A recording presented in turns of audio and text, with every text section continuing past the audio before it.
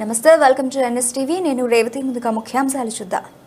పల్నాడు జిల్లాలో మండల కేంద్రమైన సావల్యపురం గ్రామంలో రాష్ట్ర ప్రభుత్వం ప్రతిష్టాత్మకంగా చేపట్టిన గడప గడపకు మన ప్రభుత్వం అధికారులు ప్రజాప్రతినిధులు వైసీపీ కార్యకర్తల సమక్షంలో అట్టహాసంగా ప్రారంభమైంది. ఈ కార్యక్రమానికి హాజరైన స్థానిక శాసనసభ్యులు బొల్ల బ్రహ్మనాయుడు ముందుగా గ్రామ సచివాలయాన్ని ప్రారంభించారు.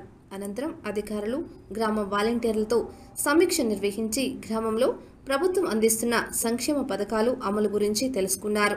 అనంతరం గ్రామంలో గడప గడపకు తిరిగి ప్రభుత్వ సంక్షేమ పథకాలు సక్రమంగా అందుతున్నాయా లేదా అని ఆరా తీశారు. అనంతరం మాట్లాడుతూ వైఎస్ జగన్మోహన్ రెడ్డి టైంలో గ్రామాల్లో వేళ్ళపై లెక్కించలేనని అభివృద్ధి పథకాలు అమలు చేస్తున్నారని అన్నారు. ఇది చూసి తెలుగుదేశం పార్టీ నేతలకు మతి భ్రమించి మాట్లాడుతున్నారని అన్నారు. గాంధీజీ కలలు కన్నా గ్రామ స్వరాజ్యం ముఖ్యమంత్రి వైఎస్ జగన్మోహన్ రెడ్డి పాలనలోనే సాధ్యమవుతుందని అన్నారు. ఈ కార్యక్రమంలో MPTO Archana Rao SI G Ravikrishna మండల వైద్యాధికారి సయీద్ ఇబ్రహీం ఎలక్ట్రికల్ ఏఈ నటరాజ్ మండల పరిషత్ అధ్యక్షురాలు ముండ్లమూరి సుహాసిని తదితర నాయకులు అధికారులు పాల్గొన్నారు. అరవై రెండు లక్షల పైచీలకు ఇవాళ మనం పెన్షన్లు ఇవ్వడం జరుగుతూ ఉందని మీ అందరికీ సవినయంగా మనం చేస్తున్నాం. ఒక అభివృద్ధి కార్యక్రమంలో ముందుకెళ్తున్న ఈ ప్రభుత్వాన్ని ఈ ముఖ్యమంత్రిని ఇలాంటి ఆ, ఆలోచనలు చేసి ముందుకు వెళ్తున్నటువంటి వాళ్ళకి వెనకుండి ఆ ఏముంది అది మేము ఇచ్చాం. ఏంది మీరు ఇచ్చింది జన్మభూమి కమిటీ సభ్యత్వమా? ఇవాళ సచివాలయ స్టాఫ్ దరిదాపుల లక్ష యాభై వేల మందికి ఇవాళ ఉద్యోగ అవకాశాలు కల్పించి రెచ్చగొట్టారు వాళ్ళని. మీరు అడగండి అని. అడగాల్సిన ప- పని లేదు అవసరము లేదు.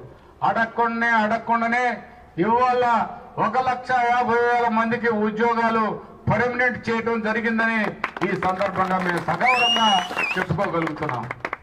ఎక్కడ మీరు చెప్పేది నీళ్ళున్న కాడ బురద కూడా లేకుండా మాట్లాడటం చంద్రబాబు నాయుడు గారి నైజం.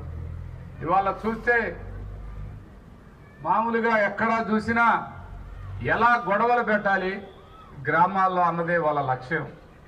ఇవాళ ఇక్కడ ఉన్నాడు శాసనసభ్యుడిగా పది సంవత్సరాలు చేశాడు. అక్కడ ఉన్నాడు పద్నాలుగు సంవత్సరాలు ముఖ్యమంత్రిగా చేశాడు చంద్రబాబు నాయుడు గారు. చంద్రబాబు నాయుడు గారు డైరెక్ట్గా ఒక్క సెంటు భూమి ఒక్క పేద అక్క చెల్లెమ్మకి ఎక్కడైనా పద్నాలుగు సంవత్సరాలు ఆయన హిస్టరీలో ఎక్కడైనా ఇచ్చారా అంటే లేదు అని చెప్పడం తప్ప ఉంది అని చెప్పడానికి ఆయనకు అవకాశం లేదు.